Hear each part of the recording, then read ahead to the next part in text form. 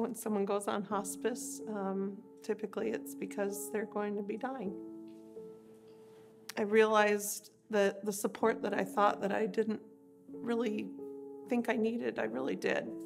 The experience, uh, it wasn't just dying, it was saying goodbye.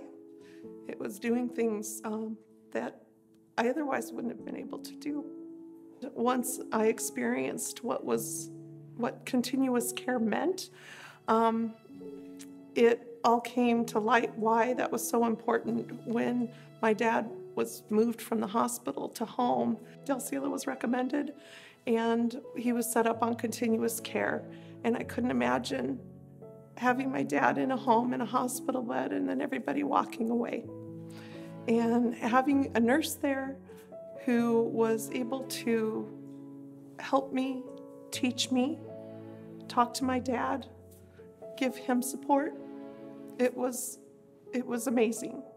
Hospice is not a negative thing, it's a positive thing. And hospice provided just the comfort of home, the peace of being able to talk to each other and say our goodbyes and to be adequately cared for medically where he wasn't feeling pain or anxiety anymore.